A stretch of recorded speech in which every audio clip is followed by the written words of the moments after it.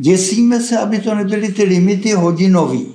A představte si, že to vypadá, že ne.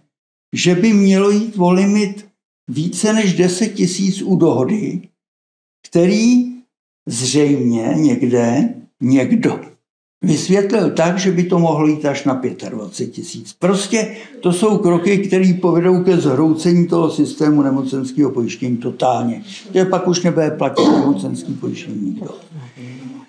Však tak jeho zaměstnanci neodvádí za sebe, že? Od roku 2009.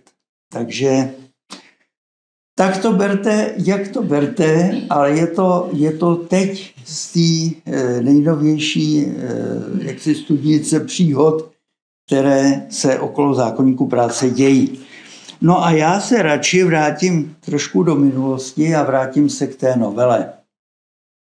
Vy jste si co tady říkali, já jsem to bohužel neslyšel, něco se tady říkalo o dovolené a tak dále.